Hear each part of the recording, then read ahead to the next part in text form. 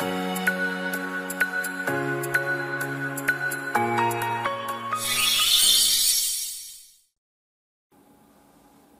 い、こんにちは、レトスノールです。今回なんですけども、侵釈物の滅失、民法611条と616条の2の内容を解説いたします。大きく分けて2つですね。一部滅失した場合と全部滅失した場合の話です。で、一部滅失っていうのは一部が壊れてしまった。借りたものの一部が壊れてしまった。全部滅失っていうのは、まあ、借りたもの、まあ、全てが壊れちゃった。といったイメージで大丈夫です。で、まず一部滅失の方からいくんですけども、条文では、侵釈物の一部が滅失、その他の自由により使用収益することができなくなった場合において、一部滅失等が侵釈人の責めに帰することができない自由であるとき、賃料は使用収益できなくなった部分の割合に応じて減額される。まあ、このように規定されているんですね。で、まず、一部滅失の具体例としては、まあ、例えばなんですけども、まあ、地震によって建物の一部が壊れてしまったといったイメージです。そうすると、まあ、一部使えなくなっちゃいますよね。使用収益することができなくなる。で、それが賃借人の責めに帰することができない自由。つまり、賃借人の落ち度、賃借人の責任で壊れたんじゃないよといった場合です。まあ、今の具体例、地震もそうですね。また、津波、これもそうですね。これも賃借人の責任じゃないですよね。まあ、そういった自由で一部が滅失して借りたものを使えなくなったといった場合、賃料はその使えなくなった部分の割合に応じて減額されますよ。これ、イメージすごくしづらいんですよね。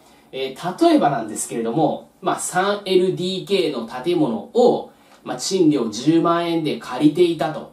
で、えー、まあ、地震によって一つの部屋が壊れちゃって、一つの部屋だけ使えなくなった。だからその部分だけ賃料を減額しましょう。まあ、結果として、まあ、7万円ぐらいにしましょう。みたいなイメージです。で、これについては、減額されるって書いてあるんですね。これ、賃借人が減額請求できるって書いてないんですよ。これは自動的に減額されちゃうんですね。つまり、賃借人による請求は不要ですよと。いう話です。ここ一つ注意をしておきましょう。で、また、賃借人の責めに帰することができない自由である時に減額されるのであって、賃借人の責任だった場合、賃借人の過失によって一部滅失した場合、えー、例えば、えー、借主の一人が、えー、タバコを吸っていて、その不始末で、えー、火事になったと。で、一つの部屋壊れちゃった、焼けちゃった。まあそういった場合っていうのはこれ賃借人の責任なんで、これは賃料は減額されません。これ当然の話ですね。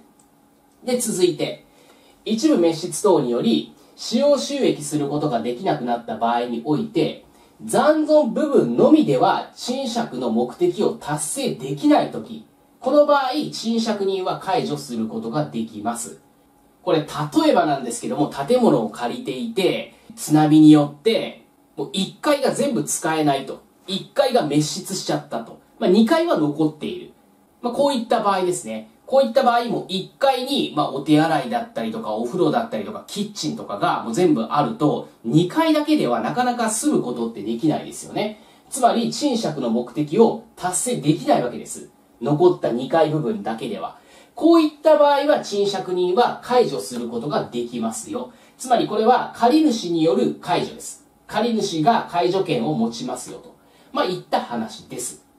で、ちょっと細かい話になるんですけども、侵釈物の一部が滅失、その他の自由により使用収益することができなくなった場合において、と書いてあるので、この一部滅失だけじゃなくて、その他の自由によって使用収益することができなくなった場合も含まれるんですね。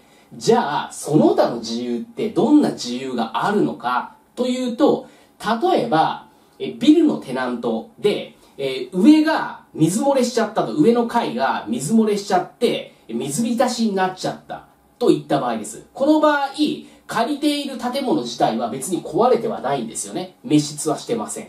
でも、漏水によってもう一部ちょっと使えないといった場合がこれです。で、今からお話ししていく全部滅失の場合もこれ通って書いてある通り、その他の自由含むんですよ。